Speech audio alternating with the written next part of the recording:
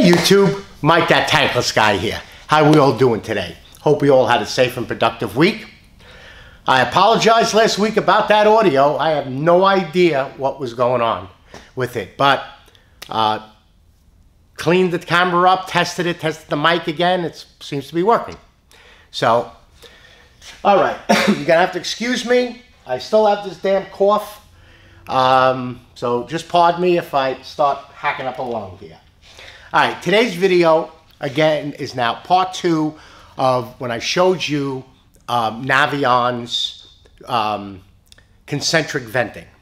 So we're gonna show you how to cut the concentric venting. Now, concentric venting basically is used on units that are non-condensing, so they're lower efficient. And it's a pipe within a pipe. So you have your inner pipe, which is either a poly or a metal, and that's where your exhaust will go out. The outer pipe, so excuse me, the inner pipe is where the exhaust goes out. That will have be either a poly or a metal. Then your outer pipe is where the air will come in. So in this case, the flow is this way. The air, the flow of gas is this way, and the fan draws air this way. And it goes in with um, an outer and an inner gasket but with this, it's not like you just take a saw and chop. Like you got to cut a piece. Now this is a 19 inch piece. You got to cut a piece 16 inches. And you don't just cut through it. There's a special way to cut it. There's a special way to measure it. Let me just move this over a little bit. Maybe I get a little better lighting here. Yep, there we go. So when you're measuring this, if you look inside, and it's very hard to see it, there's, you see that white, there's a white like hold down, holder piece there. There's another one there, another one there. If you look in there, there's a stop. That stop ends about right here. So you're measuring from here out. So you this is your engagement. But it's your engagement for the white. So when the white goes into a fitting or into this hub, it's going in this deep. But the inner pipe, now, whether, like I said, whether it's a poly, which this is, or it's um, a metal. See, this is the Ubbink. Ubbink for like a Rinnai unit has the same outer white plastic, but then PP poly inside for their units and metal inside for their non-condensing. But with Navien, all of their condensing units, which when we get to the NPE model, you'll understand is just two inch schedule 40. With this is for their U universal. Now, it's a metal outside, a metal inside, but the um, what we're going to go over right now is exactly what you would need to do to cut this. Because the inner pipe, as you can see, is a half inch longer than the outer pipe. Now, tools. You're going to need some type of large paper for, as a wraparound. And I'm just using this booklet. You can buy some construction paper that's, you know, the paper needs to be roughly about 18 inches, 17 inches long. And it could be four inches wide. Uh, some tape, marker, pencil, file, a sawzall, a multi-tool, a multi-tool with bits. And I like to use this sanding bit or this brush bit for metal. And you could also use a knife. A razor knife, whatever, utility knife, whatever. All right, so we're going to measure out what we need. So we need to have a piece that's, now I'm going to do this from the side. Now normally I have my helper holding this. So you're going to be doing this with two, per, two people. And that's why I'm doing this with a poly inside because it's easier for me to do it than to have the metal, but it works the exact same way for any of the concentric venting. So now I'm going to measure back. So we're measuring from the white and I need say a 15 inch piece. All right, so I'm going to take my marker and I'm measuring 15 inches. So you see here, I measured from the white to the 15 inches. So I have my mark right there. So now you want to take your wraparound because you want to try to get a nice, because remember, you're not chopping this like a chop saw. You're going to be um, going around with this. So you want to take your wraparound and you want to get it on the, the line, nice and square. Put a couple of pieces of tape. So you get your wraparound. You know, it, it, it could be, just get it square. And then put your first piece of tape on it. Then you want to take the other side of the wraparound and you want to mate it perfectly. And I'll show you this in a second as soon as I get the tape on it.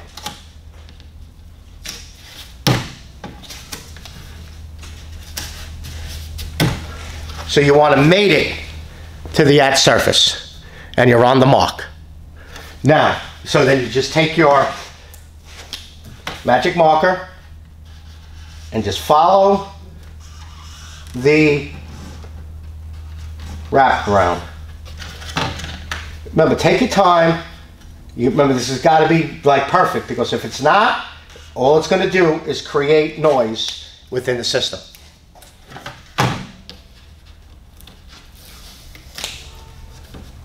And yes, I'm downstairs today.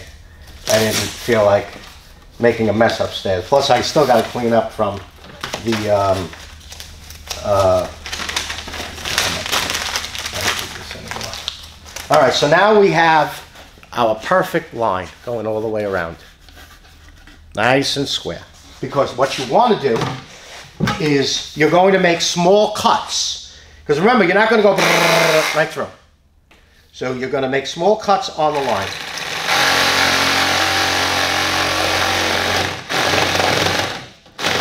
Spinning it. See how I'm spinning it? Now, of course, if it's the metal, it's going to be a lot tougher.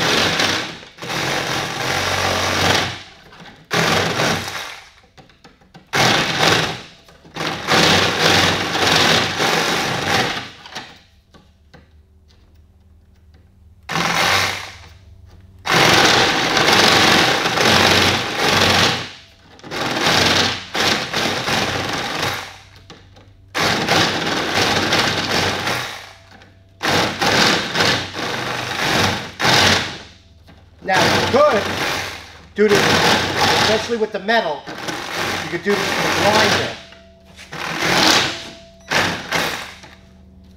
Almost there.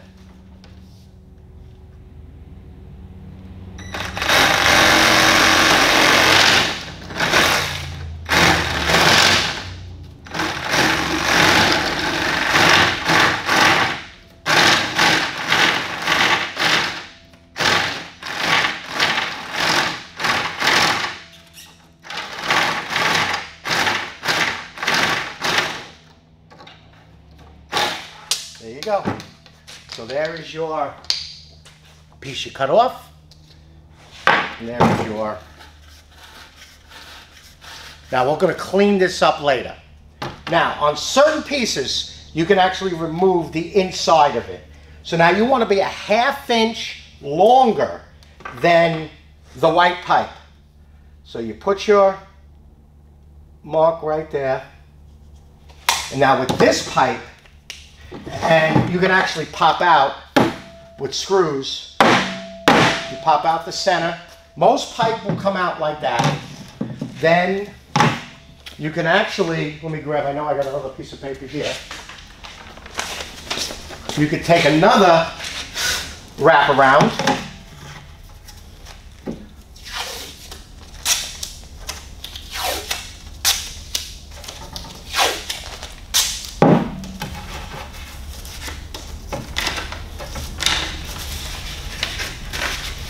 on your mark.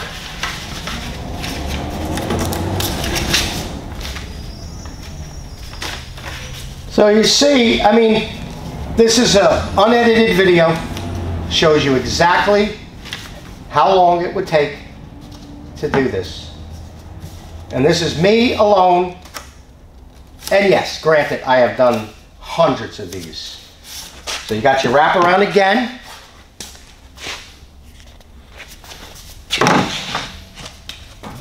And then you just follow. And this, you basically want to know that you're going to go straight through with this. Okay, so there's that.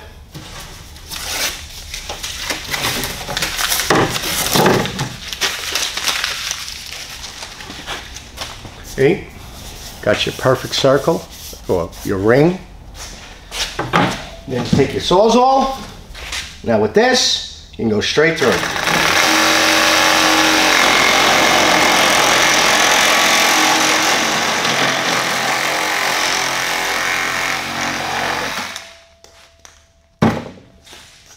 Here's your piece. There's your other end. So now, you want to take your knife, and you can even use one of those uh, reamers that you would ream copper out with. Clean up.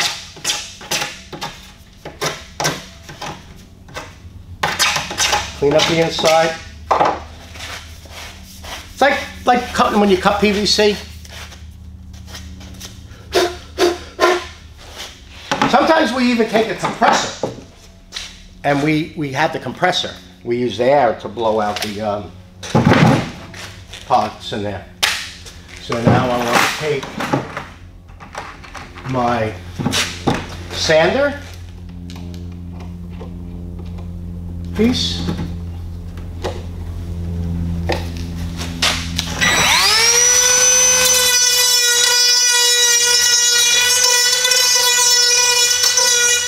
You want to give it a slight bevel.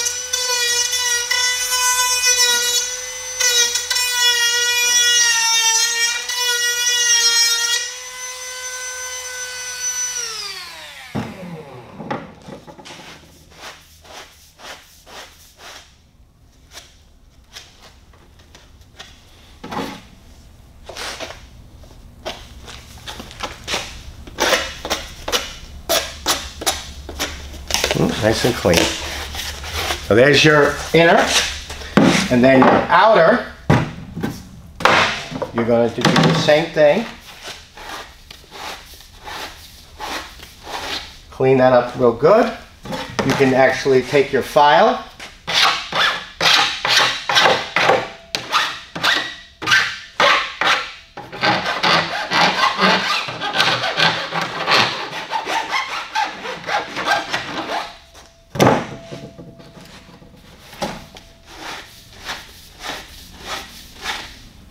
Okay, that's nice and clean. Now you're going to take your, put your pipe back together.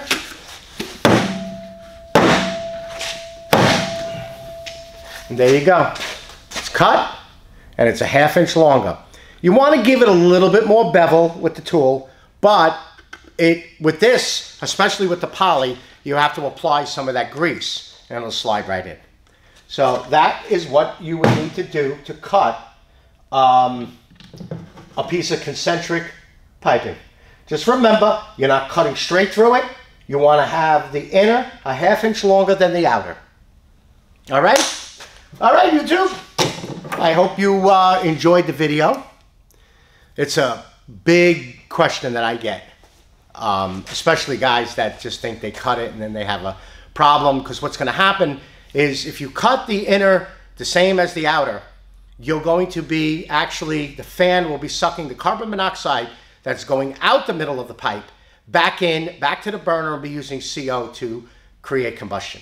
And then the, the, unit just makes a lot of noise. So that's um, why you have to be very careful. You take your time. As you can see, it took what about 20 minutes to do the whole thing. Um, you know, metal. You know, it should take about 30 minutes or so. Once you get um, accustomed to it, it's going to take you, it'll be faster. All right, YouTube, um, I'll have my uh, email um, in the description below. If you're interested in my training, uh, just email me and I'll, I'll send you the information. Or if you have a question, uh, you'll um, uh, just email me. Uh, but I also, um, I don't know if I'm going to do it this video, but maybe next video, I started a Patreon um, page to help out with uh, the, the hundreds and hundreds and hundreds of questions that I get. Um, and I do spend countless hours at night uh, with it. So, um, you know, that's what I just started this Patreon page. Okay? All right, YouTube. Again, thank you for all the comments, the subscribes, the likes. Hit that notification button and or bell, ding dong, uh, and it'll notify you when I uh, um, post a video. Okay? You all have a nice weekend. You all be safe out there, and I'll see you on the next video. Bye-bye now.